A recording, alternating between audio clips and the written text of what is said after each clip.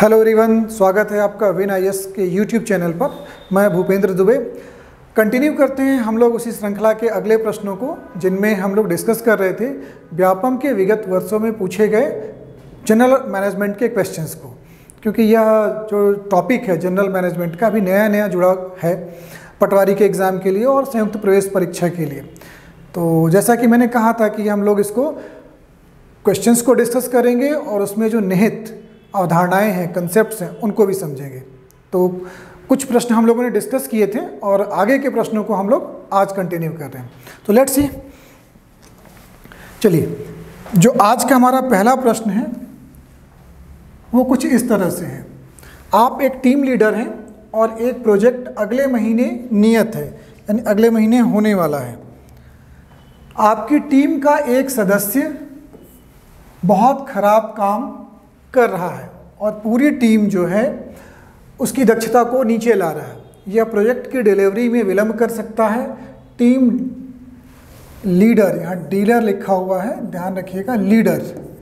Leader के रूप में आप इस स्थिति में क्या करेंगे? देखिए, बड़ा सिंपल सा क्वेश्चन है ये कि मान लीजिए कोई व्यक्ति है जो आपकी टीम में शामिल है और वो ठीक ढंग से काम नहीं कर रहा है तो आप क्या करेंगे? ये डिसीज़न मेकिंग का प्रश्न है। तो देखते हैं ऑप्शंस को पहले क्या क्या दिया गया है अपने पास। पहला ऑप्शन दिया गया है, खराब प्रदर्शन कर रहे सदस्य को टर्मिनेट कर देंगे और टीम के अन्य सदस्यों पर अतिरिक्त कार्य का भार डालेंगे। देखिए, जो भी हमें कार्रवाई करनी हो, उसके हमें परिणामों को ध्यान में रख लेना चाहिए।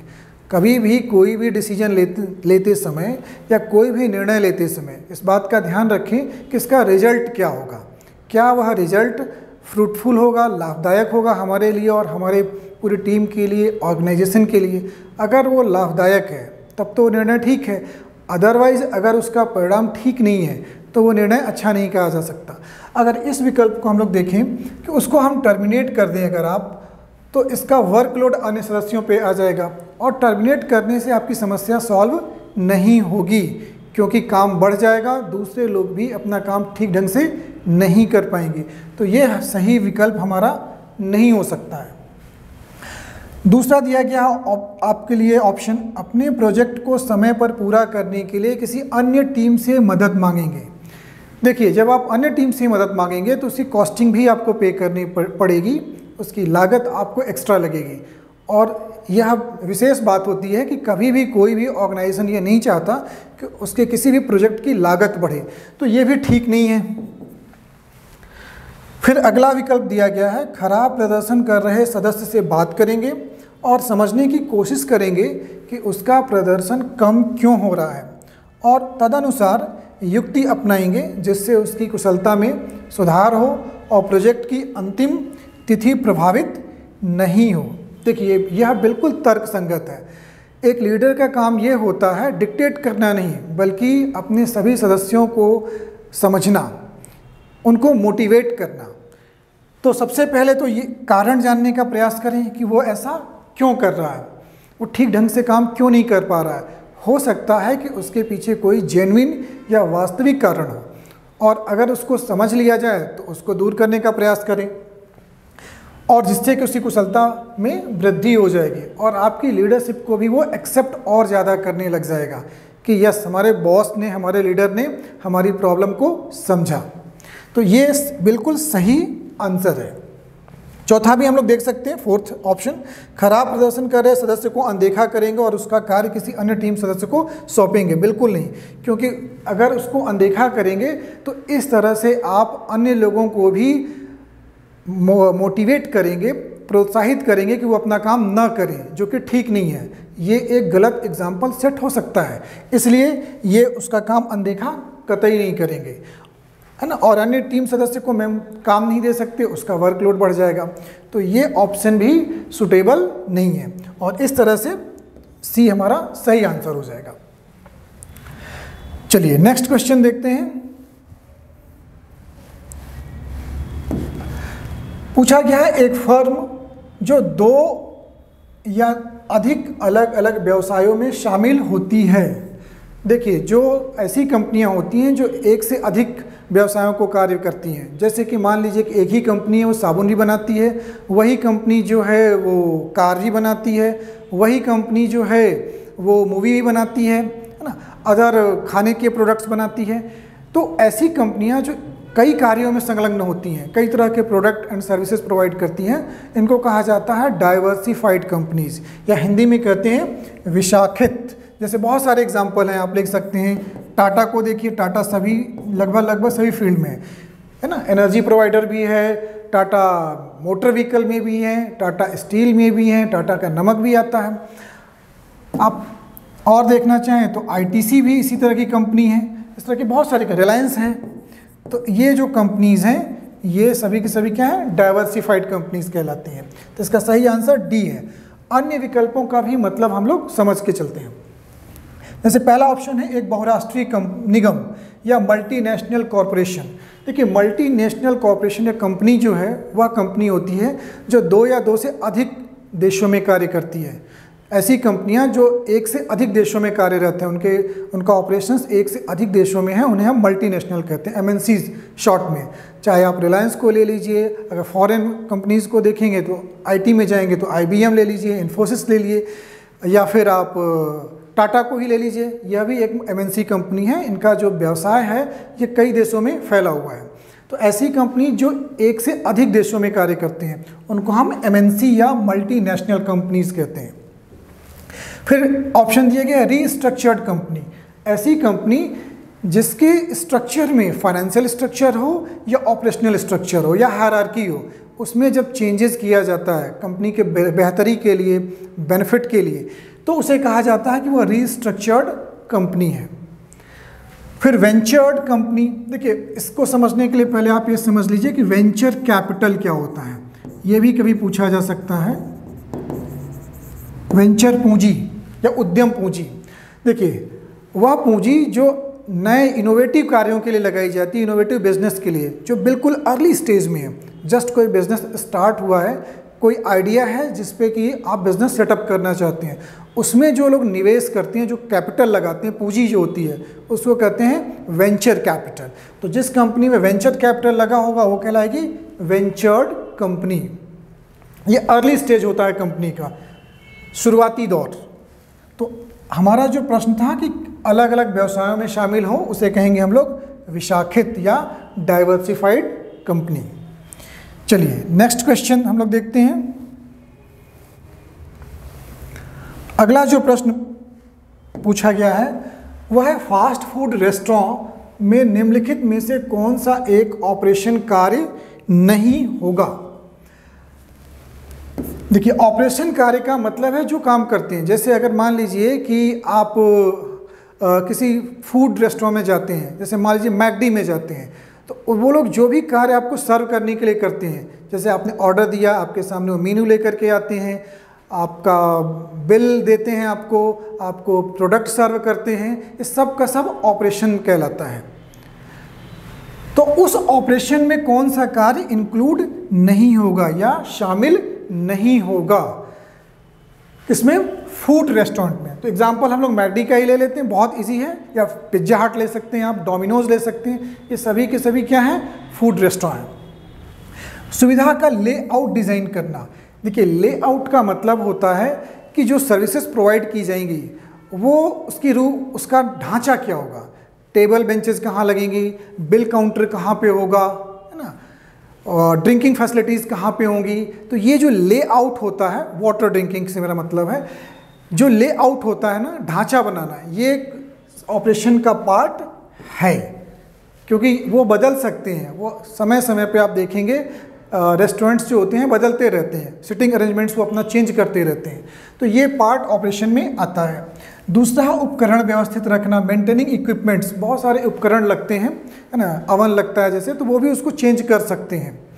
तो ये भी ऑपरेशन का पार्ट है। फिर है विज्ञापन और प्रचार करना एडवर्टाइजिंग एंड प्रमोशन देखिए, इसके लिए अलग से एक मार्केटिंग डिपार्टमेंट होता है जो ये देखता है कि कहाँ पे पोस्टर्स लगाने हैं, कब टीवी चैनल पे ऐड देना है, कब हमें इसका न्यूज़पेपर में एडवर्टीज़मेंट करना है, कब ऑफ़र लेकर के आना है, ये काम ऑपरेशन के अंतर्गत शामिल नहीं होता है। तो ध्यान रखिएगा, ये मार्केटिंग डिपार्टमेंट का काम है ऑपरेशन का काम नहीं है। तो प्रश्न पूछा यही गया है तो ये हमारा उत्तर हो जाएगा। विज्ञापन और प्रचार जो है, ये ऑपरेशन का कार्य नहीं है। हैमबर्गर और फ्राइज़ बनाना, ये तो उनका मेन काम है, क्योंकि ये उनका प्रोडक्ट है। तो ये तो वो ऑपरेशन में करेंगे ही करेंगे। तो सही आंसर होगा सी चलिए नेक्स्ट क्वेश्चन देखते हैं। सिक्सटीन नंबर प्रदर्शन की निगरानी करने, इसके लक्ष्यों से तुलना करने और किसी महत्वपूर्ण विचलन को सही करने की प्रक्रिया को जाना जाता है। या क्या कहते हैं हम उसको?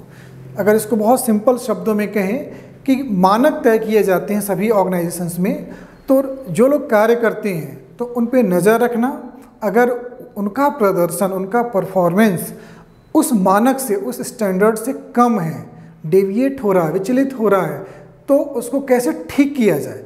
यह जो कार्य है वो का, क्या कहलाता है?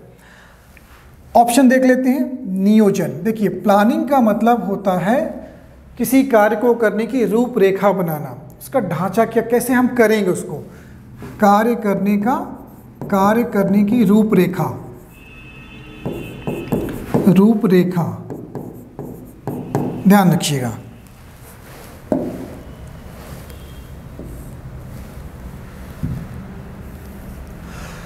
जैसे मान लीजिए आपको एग्ज़ाम देना है तो आप प्लानिंग करते हैं कि हमें कौन कौन सा सब्जेक्ट कितने घंटे पढ़ना होगा, कितने क्वेश्चंस लगाने होंगे तो आप क्या कर रहे हैं? प्लानिंग कर रहे हैं, नियोजन कर रहे हैं। फिर क्या गया आयोजन। ऑर्गेनाइज करना, किसी कार्य को ऑर्गेनाइज करना। जैसे आपका एग्ज़ाम ऑर्गेनाइज किया जाएगा, व्यापम का है तो व्यापम करेगा। अगर मान लीजिए एसएससी कंडक्ट करवा रहा, आयोजन कर रहा है तो एसएससी करेगा। बेसिकली आयोजन ऑपरेशन है एग्ज़ाम का। तो ये भी डिफरेंट है। फिर पूछा गया, नियंत्रण कंट्रोल करना। कंट्रोल के अंतर्गत अगर आप देखेंगे तो कंट्रोल कौन कर सकता? है वही जो पहले निगरानी रखेगा। कंट्रोल तब किया जाता है जब लगेगा कि मानक हमारे पूरे नहीं हो रहे हैं। जैसे मान लीजिए किसी कार्य के लिए पैसा अलोकेट किया गया। और ये देखा जाता है कि क्वालिटी वर्क नहीं हो रहा और पैसा खर्च हो रहा है। तो उस वक्त जो अथॉरिटी होती है, उसका ये कार्य बन जाता है कि वह इन बेफजूल की खर्ची को क्या करे? नियंत्रित करे। कंट्रोल करें। खर्चे को कंट्रोल करें। गुणवत्ता को कंट्रोल करें। और इसके लिए उनको क्या करना पड़ेगा? निगरानी करनी पड़ेगी। जो लक्ष्य डिसाइड किए गए हैं, उनसे तुलना करनी पड़ेगी और यदि उन लक्ष्यों से वो डेविएट हो रहे हैं, कम कर रहे हो तो अपना काम। गुणवत्ता में कमी हो सकती है, हो सकता है टाइम पे नहीं कर रहे हैं, हो सकता है ज़्यादा खर्च हो रहा है। तो उसको ठीक करना है। यह सारा का सारा कार्य जो होता है, ये कंट्रोलिंग का पार्ट है, नियंत्रण का पार्ट है। लास्ट है नेतृत्व। देखिए लीडिंग जो होता है वह जैसे कि किसी भी टीम का टीम लीडर होता है वो दिशा निर्देशित करता है गाइड करता है कि हमें उस कार्य को करना कैसे है। तो जो प्रश्न पूछा गया है उसमें सही ऑप्शन जो होगा हमारा होगा नियंत्रण। नियंत्रण ही निगरानी और उसके लक्ष्यों से तुलना करने पर डेविएशन को करेक्ट कर, करने का कार्य करता है। तो ध्यान रखिएगा। चलिए नेक्स्ट प्रश्न देखते हैं।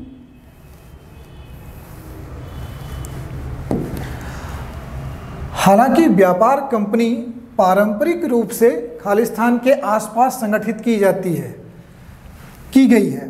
एथलेटिक समूहों ने लंबे समय से खालिस्तान के महत्व को पहचाना है।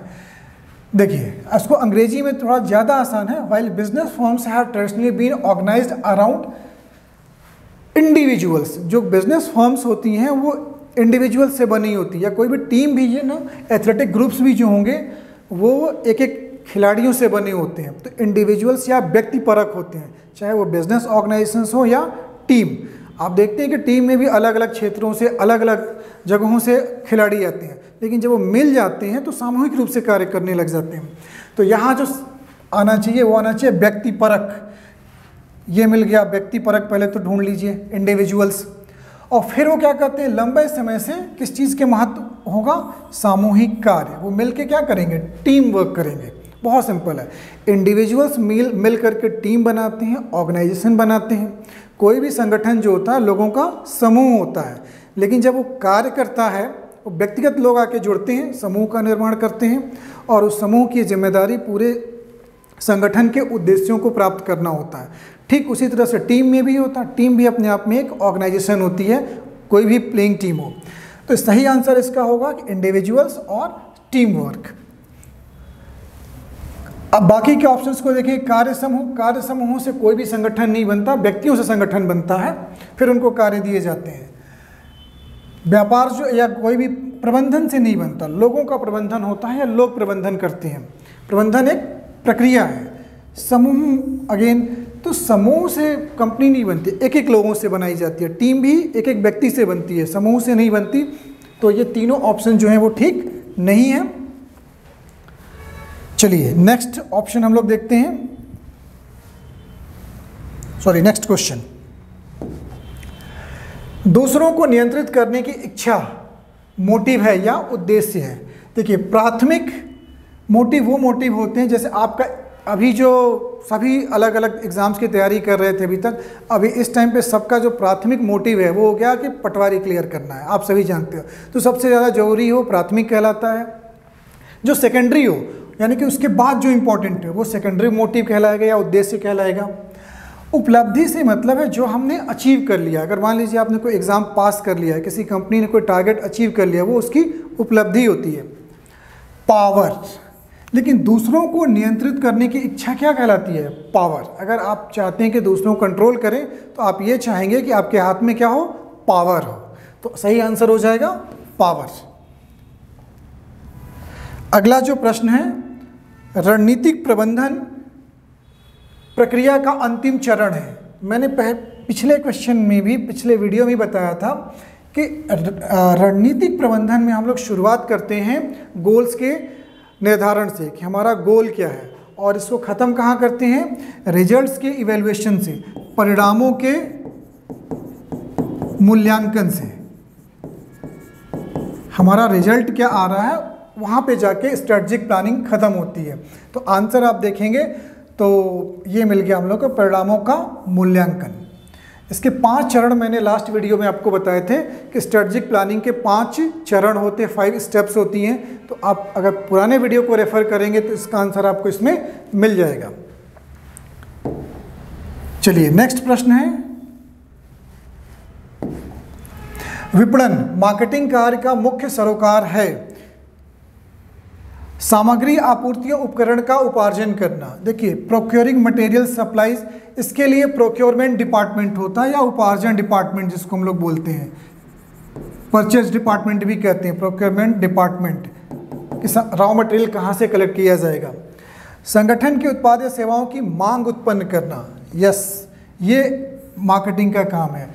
मार्केटिंग का बेसिकली काम ये होता है कि कस्टमर्स के नीड्स को समझना और उनको डिमांड में कन्वर्ट करना, उनको डिमांड उत्पन्न करना। माल का उत्पादन करना या सेवाएँ प्रदान करना। नहीं, ये काम जो है ऑपरेशन डिपार्टमेंट का है, ये ध्यान रखिएगा। ये ऑपरेशन डिपार्टमेंट का काम है माल का उत्पादन करना।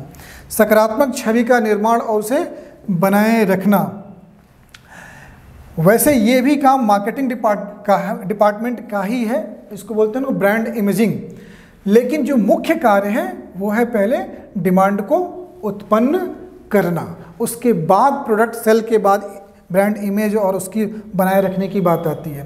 तो मुख्य कार्य जो है, उसका मांग उत्पन्न करना। ध्यान रखिएगा ब्रांड इमेजिंग या ब्रांडिंग का जो काम है, वो भी मार्केटिंग डिपार्टमेंट ही करता है, लेकिन ये प्रोडक्ट सेल हो जाने के बाद होता है। नेक्स्ट प्रश्न है हमारा खालिस्तान, इस बात का अध्ययन है कि उपभोक्ता किसी बाज़ार में उत्पाद या सेवा का चयन और खरीदारी कैसे करते हैं। यानी कौन सी ऐसी स्टडी है जो हमें ये बताती है कि जो कंज्यूमर होगा, जो उपभोक्ता होगा, वो किस प्रकार से कोई खरीदारी करता है।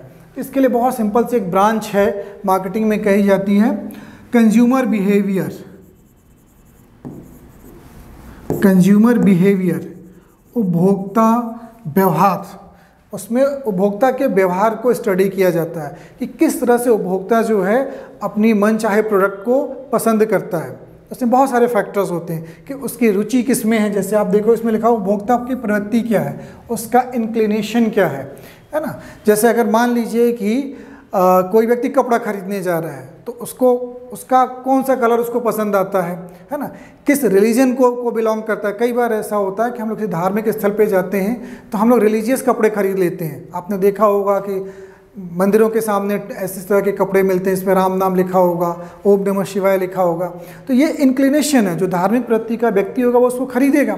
तो ये भी किसका पार्ट है? कंज्यूमर बिहेवियर के अंतर्गत ही स्टडी किया जाता है उपभोक्ता की प्रवृत्ति को। उसकी आवश्यकताएँ क्या हैं? उसको भी समझा जाता है कंज्यूमर बिहेवियर के अंतर्गत। जैसे अगर किसी व्यक्ति को मान लीजिए प्यास लगी है तो पानी पीना चाहेगा, अब उसको पैकेज ड्रिंकिंग वाटर बेचना है। अगर उसकी जेब अलाउ कर रही है मतलब उसके पैसे ठीक ठाक हैं तो आप उसको महँगा ड्रिंकिंग वाटर बेच सकते हैं, है ना? और यदि मान लीजिए कि वो बहुत कम सस्ता खर्च करना चाहता है, कम पैसा खर्च करना चाहता है तो वो केवल उन्हीं पानी की बोतल को खरीदेगा जो सस्ता होगा। तो खर्च करने के प्रति तो उसकी नीड्स क्या है? और उसके अकॉर्डिंग उसकी पेइंग कैपेसिटी क्या है? है ना? ध्यान रखिएगा नीड्स वो होती है जो हमारी ज़रूरत होती है और यहीं से एक क्रिएट किया जाता है नीड्स को डिमांड में। डिमांड वो होती है जो हम अपनी पेइंग कैपेसिटी के आधार पे मांगते हैं बाज़ार से। जैसे मान लीजिए कि आपको घर से ऑफ़िस जाने के लिए या स्कूल, कॉलेज जाने के लिए बाइक चाहिए तो बाइक पचास हज़ार की भी हो सकती है या अस्सी हज़ार की भी हो सकती है और पाँच लाख की भी हो सकती है। तो अगर आप पाँच लाख की डिमांड करते हैं घर वालों से तो वो आपकी डिमांड है, न कि नीड। नीड तो फुलफिल हो जाएगी आपकी अस्सी हज़ार की बाइक में भी। उपभोक्ता व्यवहार एक ब्रॉडर टर्म है जिसके अंतर्गत ये सब चीज़ें पढ़ी जाती हैं। उपभोक्ता की अनुभूति, यानी उसका परसेप्शन क्या है, वो क्या समझता है, उनको लेकर के। बोलते हैं ना, दिमाग में इसमें पोजिशनिंग क्या होती है? जैसे आप देखते हैं एडवर्टीजमेंट में क्या किया जाता है? उपभोक्ता के दिमाग में एक इमेज बैठा दी जाती है। आप एडवर्टीजमेंट में देखते हैं कि थम्सअप तूफ़ानी है तो क्या तूफ़ान थोड़ी आता है? लेकिन जो यंगस्टर्स होते हैं, वो क्या पीते हैं? थम्सअप ज़्यादातर करके। क्यों? क्योंकि उनको लगता है कि नहीं, ये बहुत हार्ड है। उसको पीने से हम हम अपनी ईगो जो, अपना हमारा जो इंटरनल सेटिस्फेक्शन होता है इमोशनल सेटिस्फेक्शन वो हमको मिलता है। वो क्या है? परसेप्शन क्या सोच है हमारी? तो ये सभी के सभी जो तीन टॉपिक्स हैं they are part of consumer behaviour consumer behaviour के अंतर्गत कस्टमर की प्रवृत्ति, उसकी आवश्यकताओं, उसकी अनुभूति, उसकी पेइंग कैपेसिटी इन सबको स्टडी किया जाता है और फिर उसके अकॉर्डिंग प्रोडक्ट का निर्माण किया जाता है। चलिए नेक्स्ट क्वेश्चन हम लोग देखते हैं। प्रश्न पूछा गया, आसानी से परिवर्तन लाने के लिए व्यक्तियों पर ध्यान या अवधान केंद्रित करने के बजाय संपूर्ण संगठन में परिवर्तन लाने की एक तकनीक का नाम बताइए। देखिए, जब यहाँ क्या bring changes in the entire organisation पूरे ऑर्गेनाइजेशन में जब चेंजेस लाने हो तो उसको कहा जाता है ऑर्गेनाइजेशनल डेवलपमेंट है ना? ऑर्गेनाइजेशन का विकास, जो कि ऑप्शन नंबर है सी और ऑर्गेनाइजेशनल डेवलपमेंट के अंतर्गत कल्चर भी को चेंज किया जा सकता है कॉन्फ्लिक्ट रिमूव किए जाते हैं, है ना? ऑर्गेनाइजेशनल चेंजेस भी होते हैं। तो ऑर्गेनाइजेशनल डेवलपमेंट एक ऐसा टर्म है जिसके अंतर्गत सभी ऊपर के दिए गए, जो ऑप्शंस दिए गए ए बी एंड डी वो उसके अंतर्गत इंक्लूड हैं। तो जब आप इस तरह के प्रश्नों को देखें तो ध्यान रखें, उनके ऑप्शंस को थोड़ा एनालाइज करें। कई बार देखा गया है कि वो उन्हीं के जो कंपोनेंट्स होते हैं, उनको ऑप्शन से बना के दे देते हैं। जो मोस्ट सुटेबल हो, उसे हमें चूज़ करना होता है। आज के सेशन में इतना ही। अगले वीडियो में हम लोग फिर मिलते हैं। धन्यवाद। तब तक आप बने रहिए। विनायस के साथ।